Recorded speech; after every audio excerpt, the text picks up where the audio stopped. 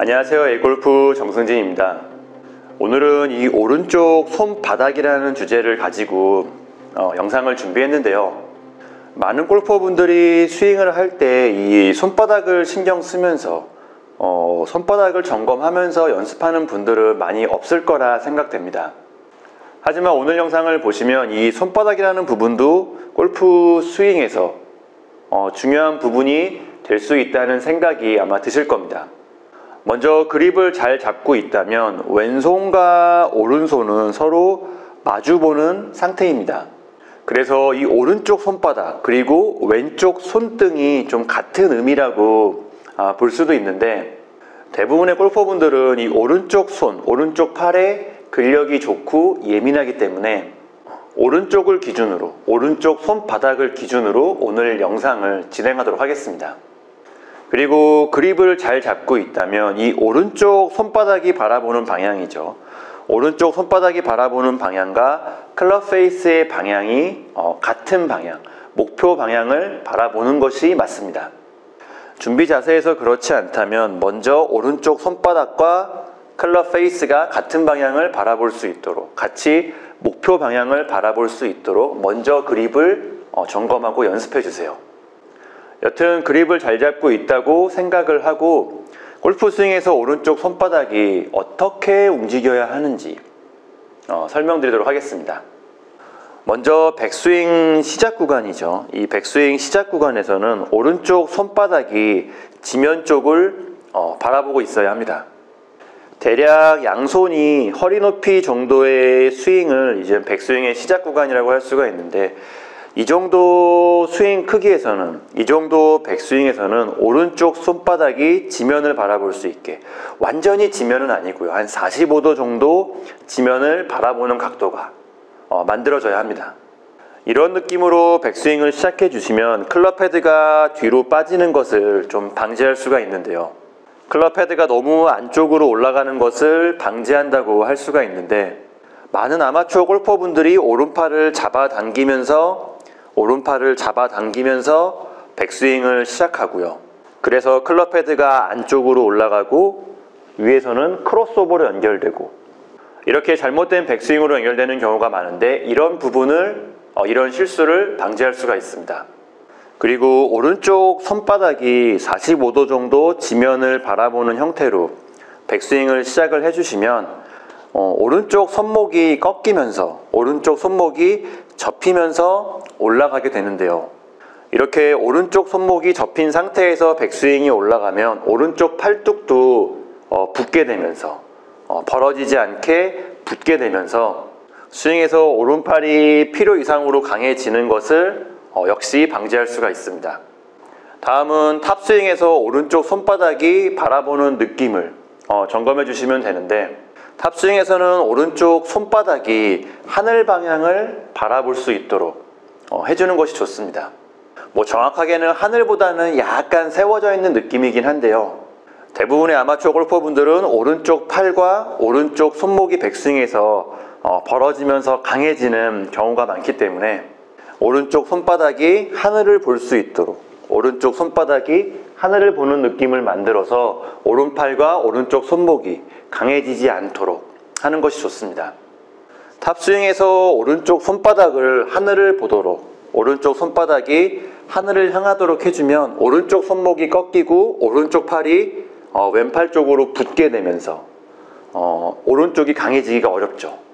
그래서 실제로 그 정도까지는 아니지만 오른쪽 손바닥이 하늘을 보는 느낌으로 어, 탑스윙을 연습해서 오른쪽 팔이나 오른쪽 손목이 강해지지 않도록 어, 그런 느낌을 잡는 것이 중요합니다. 다운스윙에서는 오른쪽 손바닥이 이 정면을 바라보는 느낌이죠. 오른쪽 손바닥이 이 정면 방향, 정면을 바라보는 느낌을 최대한 길게 유지하는 것이 필요합니다. 다운스윙에서 많은 아마추어 골퍼분들이 이 오른쪽 손바닥이 너무 빨리, 너무 급하게 이 볼 쪽을 향하는 경우가 많은데요. 오른팔이 볼을 치기 위해서 너무 빠르게, 너무 강하게 뭐 힘이 들어가는 모습이라고 할 수가 있는데 우리가 흔히 얘기하는 뭐 캐스팅이나 뭐 over the top이나 뭐 스쿠핑 같은 어, 잘못된 동작입니다. 다운스윙에서 이 오른쪽 손바닥이 정면을 바라보는 느낌을 최대한 길게, 최대한 오랫동안 유지해주면 제가 앞에서 말씀드린 그런 문제점들을 어, 방지할 수가 있는데요. 캐스팅은 다운스윙에서 손목이 미리 풀리는 어, 동작인데 오른쪽 손바닥이 정면을 바라보는 상태에서는 오른쪽 손목이 꺾여 있는 상태이기 때문에 손목이 미리 풀리는 게 어렵습니다. 그리고 오버 더 탑은 클럽 헤드가 바깥쪽으로 오면서 클럽이 바깥쪽으로 오면서 엎어치는 어, 동작인데 오른쪽 손바닥이 정면을 바라보는 자세에서는 클럽 헤드가 양손보다 어, 뒤 늦게 따라오는 형태가 되기 때문에 어, 엎어치기가 어렵습니다. scooping은 캐스팅과 비슷하게 왼쪽 손목이 빨리 접히는 동작인데 오른쪽 손바닥이 정면을 바라보는 상태에서는 오른쪽 손목이 꺾여 있기 때문에 반대로 왼쪽 손목이 어, 꺾이기는 어렵습니다. 그리고 다음으로 임팩트 구간에서는 다시 클럽 페이스가 스퀘어가 되어야 하므로 오른쪽 손바닥도 다시 닫히면서 닫히면서 목표 방향을 바라봐야 합니다. 이 부분을 다운스윙과 연결해서 생각을 해보면요. 다운스윙에서는 오른쪽 손바닥이 정면을 바라보는 상태를 최대한 길게 오랫동안 유지하고요. 임팩트 구간에 들어와서는 어, 오른쪽 손바닥이 닫히면서 순간적으로 닫히면서 목표 방향을 바라볼 수 있도록 어, 연결해 줘야 합니다. 이렇게 오른쪽 손바닥이 순간적으로 닫히면서 순간적으로 닫히면서 클럽의 네, 가속과 파워가 만들어집니다. 나아가서는 이 닫히는 타이밍과 닫히는 속도를 조절해서 뭐 방향성이나 뭐 샷이 휘어지는 정도를 조절할 수 있는 단계까지 올라갈 수 있으면 더 좋고요. 물론 다운스윙에서 오른쪽 손바닥이 정면을 바라보는 상태를 최대한 길게 유지하고 순간적으로 닫힌다는 게 일관성에서 좀 문제가 생길 수도 있습니다. 뭐 덜 다치거나 뭐 더 다치거나 이런 식으로 좀 컨트롤에 어려운 부분이 있을 수도 있습니다. 그래서 스윙 레벨을 고려해서 적당한 정도가 있고요. 그래서 이 부분은 개인차가 많기도 하고요. 그래서 연습을 통해서 적당한 정도와 타이밍을 어, 찾아야 합니다. 스윙 레벨이 올라갈수록 유지하고 다치는 정도가 어, 달라지는 경우도 있고요. 하지만 기본적인 메커니즘은 달라지지 않습니다.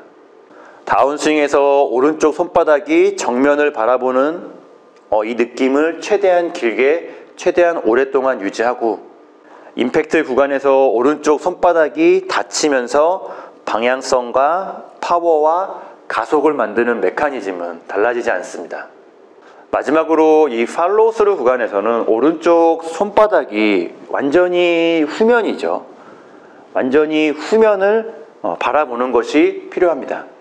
대략 양팔이 뭐 어깨 높이나 뭐 가슴 높이 정도라고 할 수가 있는데 이 정도 스윙 크기에서는 오른쪽 손바닥이 완전히 등 뒤를 어, 바라보는 것이 좋습니다. 뭐 팔로우 스로 같은 경우에는 다운스윙과 임팩트가 잘 됐다면 좀 자연스럽게 만들어지는 구간이긴 하지만 이 구간에서 오른쪽 손바닥이 뭐 하늘을 보거나 지면을 바라보는 것은 어, 문제가 있는 동작이라고 할 수 있습니다.